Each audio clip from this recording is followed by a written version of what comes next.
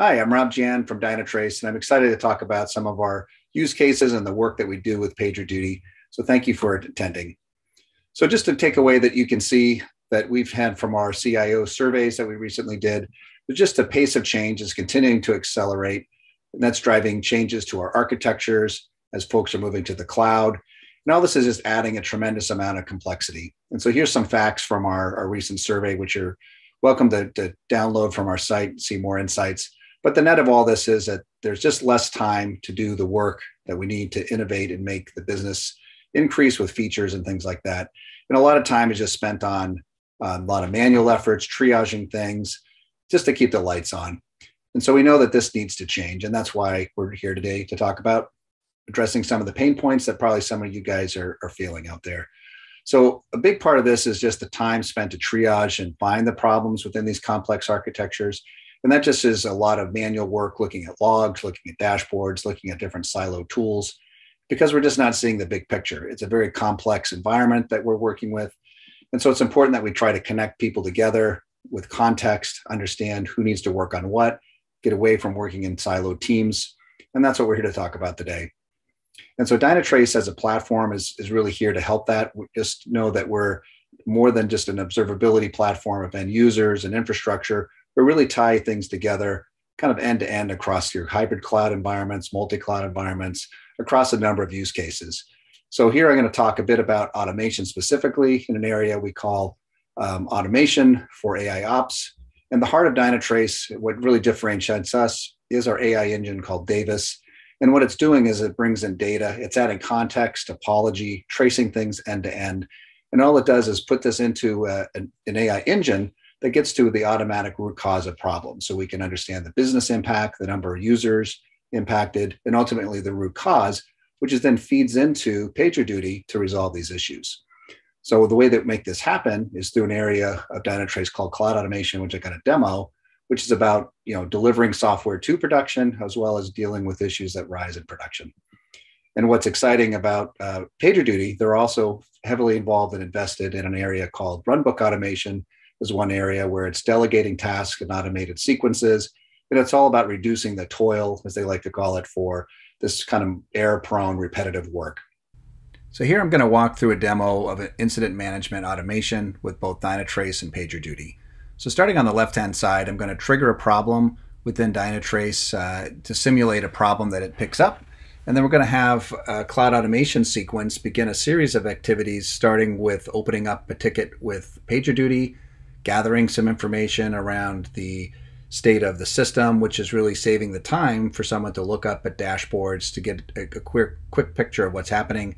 We're going to add this information to our uh, PagerDuty comments. We're going to add tickets information to both Dynatrace as well as our Slack channels. So here I have a very simple application and you can see that it's pre-built with a number of features that I can control with the feature flag where feature number one has no problem. Feature two, I'm going to receive a high error rate, uh, and that's the one I'm going to simulate here. So I'm going to quickly go into my uh, environment and perform this feature flag change uh, with the help of, of, a continuous delivery pipeline, which is going to execute um, the feature flag, setting it. And so as I refresh my screen of my application, we should see momentarily the application. There you go. The feature flag number two is on. And so we're going to start seeing errors happening uh, within our application. So here I am over in the Dynatrace screen, and what we're looking at is a time series view of different metrics, response time metrics, failure rates, etc., for this given sample application. And you can see that we're already starting to get some failure rates um, as being created by the feature flag change. So for sake of time, I'm just going to uh, speed up the video so we can see the error manifest. So if we move over into cloud automation sequences, we can now see that the problem has triggered an incident workflow. And so the part of this flow, we started off with a process to open up a ticket, which is a webhook call out to PagerDuty to do its work, and it's responded back with it's being finished. And then we've done a series of these notifications, which we'll walk into in a second. But first, let me go over to the PagerDuty side, and we'll take a look at the incidents that was just triggered here. So here we just opened up this uh, this one just now, uh, moments ago, And this was created, and we can see uh, the ticket was was created, assigned to my particular team, and we can have information here already around the problem link back to Dynatrace. We can see the the cloud automation sequence that that started this process, and we can see uh, some of the details around the tags of the impacted item. We go back to Dynatrace real quick. We can refresh our ticket that's opened and we can see that um, you know one of the, the, notifications was it's created a comment on the Dynatrace ticket to say, hey, an incident was opened. When we can click on this and open up um, that same ticket that we were just on. And there's various ways to do notifications here, but we can see that um, our um, a message was sent to our Slack channel to also let us know that a ticket uh, has been opened. So if we take a look now back at the cloud automation side, we can see another interesting thing that it did was calculate our, our service level score.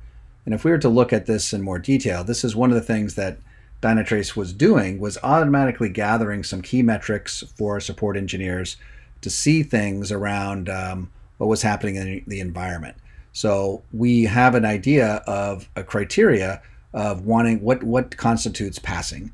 So here we can see various CPU metrics, process metrics, throughput metrics needed to be achieved. In our case, we have a very high failure rate which is um, causing our overall uh, quality to fail. We can look back into Dynatrace and see um, the, the, the criteria for which that score was evaluated. So here we have different metrics of response times, um, failure rate, so we can see that we're having a high failure rate, um, and that's what ultimately triggered our particular failure.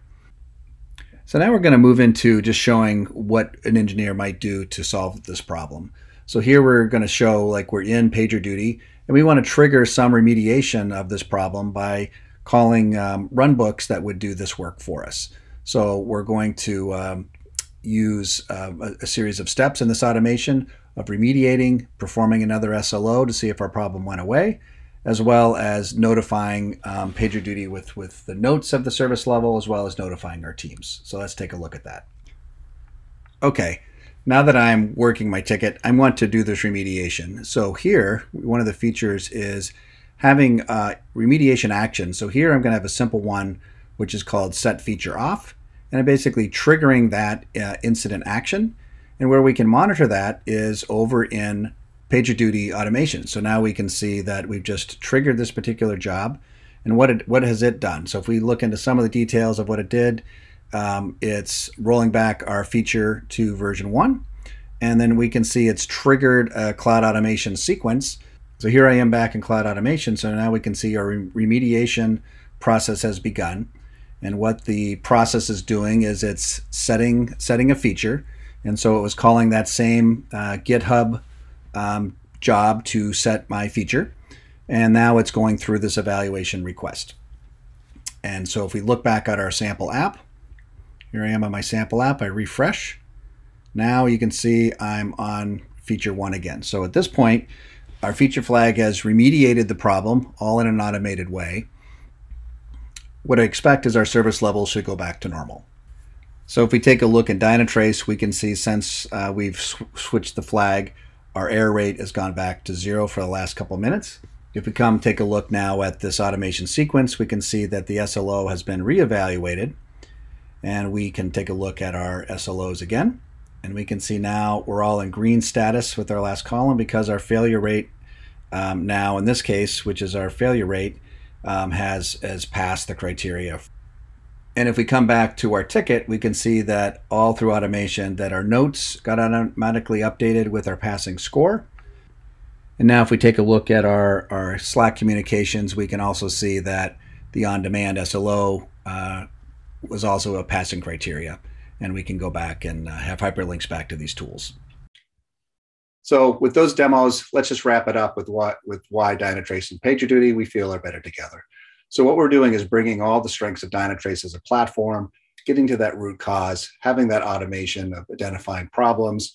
Really is about get, ultimately getting to MTTR or mean time resolution when we're combining with a great platform like PagerDuty. So here, this is all about harnessing the data from Dynatrace, driving the automated workflows so that the right teams are involved, and we can do things through a lot of automation, both on the Dynatrace side as well as on the PagerDuty side. So again, if you're interested to learn more, just uh, don't hesitate to reach out to here at Dynatrace. Thank you again.